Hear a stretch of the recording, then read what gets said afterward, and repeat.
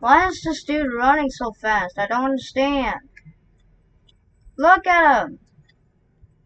Is he hacking? Okay, wait, wait, wait. Let let let him just finish this, and uh, we'll see. Let him just finish this.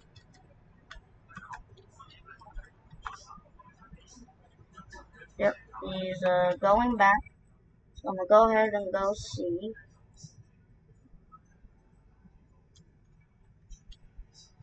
Does he run fast?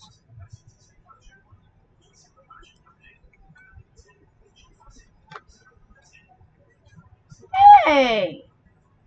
Is he a hacker?